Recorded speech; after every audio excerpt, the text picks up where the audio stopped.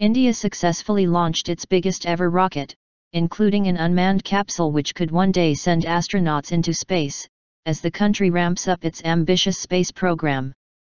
The rocket, designed to carry heavier communication and other satellites into higher orbit, blasted off from Sriharikota in the southeast state of Andhra Pradesh on Thursday.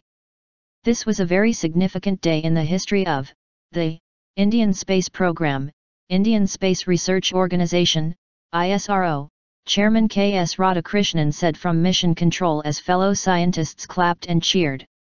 ISRO scientists have been riding high since an Indian spacecraft successfully reached Mars in September on a shoestring budget, winning Asia's race to the red planet and sparking an outpouring of national pride.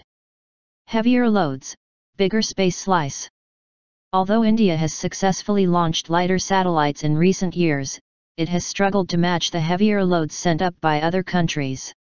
The new rocket, weighing 630 tons and capable of carrying 4 tons, is a boost for India's attempts to grab a greater slice of the $300 billion BN global space market. India, you have a new launch vehicle with you. We have made it again, ISRO Mission Director S. Somnath said. The powerful launch vehicle has come to shape, which will change our destiny. By placing heavier spacecraft into communications orbits.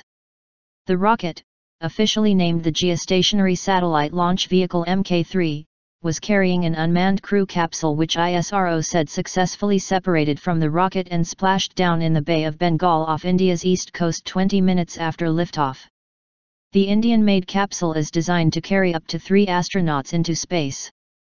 India's manned spaceflight program has seen multiple stops and starts in recent years, and ISRO says the crew capsule project would take at least another seven years to reach the point where an astronaut could be put into space. Indian Prime Minister Narendra Modi hailed the test mission as yet another triumph of the brilliance and hard work of our scientists in a post on Twitter.